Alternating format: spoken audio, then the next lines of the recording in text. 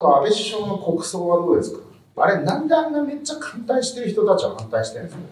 あれ反対してる人はもう最後の形ですよね。もうだって、もうボロ負けしてるわけですよね、参議院選挙で。もうなんかにすがりたいんですよ。やっぱりねテレビ局とかの中にも、そのそういう審判が多いんですよね、特に TBS とか、多いんで、あのね、山本太郎はね、利用してる。非常にそこの空気感をうまいことキャッチして、やってんなって。そういう集団って敵が出ると、仮想的、共通敵が出ると団結しますからね。むしろ盛り上がるんですよね。うん。安倍首相の国葬はどうですか？僕は大賛成ですよ。あの、外国の人が来るから、要人。もちろん政治的には、はいそう外交的にはかなりプラスはい。になるし、むしろ利用した方がいいと思うんですけど、あれ、なんであんなめっちゃ反対してる人たちは反対してるんですか？あれ反対してる人はもう最後の形ですよね。もうだって、もうボロ負けしてるわけですよね、参議院選挙で。もう完全に舐められてるんですよ。もう、もう勝てないでしょ。だって維新がギャッと伸びてるから、もう第3党になってしまってる。もう、なんかにすがりたいんですよ。なるほど。森かけ言ってもダメ。桜言ってもダメ。じゃあ、国葬見つけた国葬反対って言って一応集まれるから。うんなるほど。集まりたいんだ。もうだってあれぐらいしかないんじゃないのかな。ネタがね。あ、でも確かに政治資金規正法とか作作って、かなりね、クリーンになりましたか今回の件は結局その面白いなと思うのはこれだけね、衝撃的なはいはい。事件が起きてでなんかちょっとこう喪に服するのかなと思ったら多少は、はい。安倍さんをなんかすごい攻撃してった人たち最初はそうでしたよね。ちょっとそんな感じだったのに、統一教会の話が出てきてから、またなんかガソリンになんかひね。ひ火火にガソリンをくべたみたいな感じになって、やっぱり安倍は悪者だったみたいな悪者だったみたいなことでダーってやってるじゃないですか。やっぱり人間なくなっちゃうとダメですね。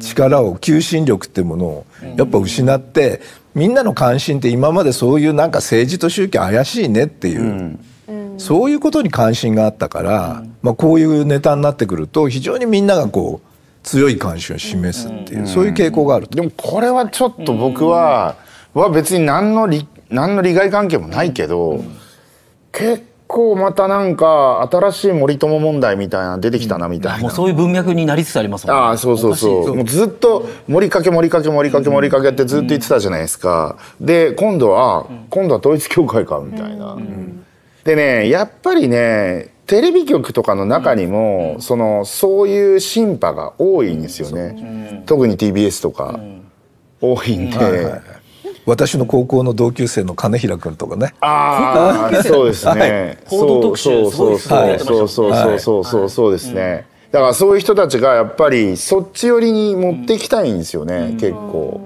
だからそういう風なは感じになっていくのかなっていう、いや、だから令和がどうとかじゃないですけど、やっぱりその左の人たちって本当に、まあ、今回とは全く関係ない話として、すごいですよね。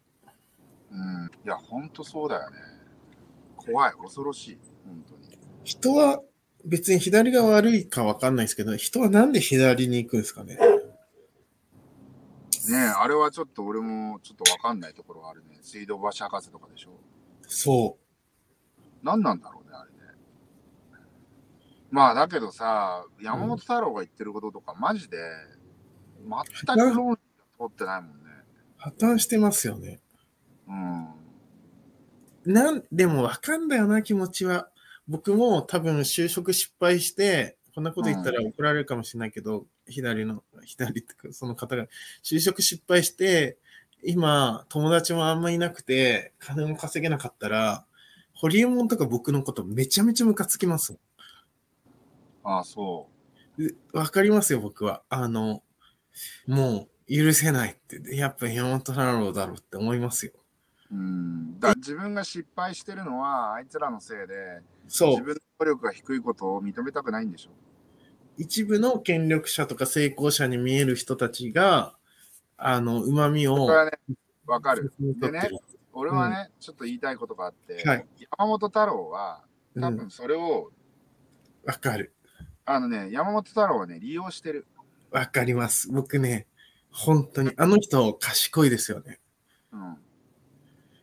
あの、無邪気にやってないですよね。分かってやってますよね。分かってやってる。僕もそう思ってます。非常にそこの空気感をうまいことキャッチして、やってんなって。僕はあなたたちの味方ですよって言ってるわけです。僕は弱者の味方ですよって。うん。だから山本太郎もめくられるんじゃない？どっかで。太郎さんの周りの方々は、めくられても、ず失望しない人人たちです。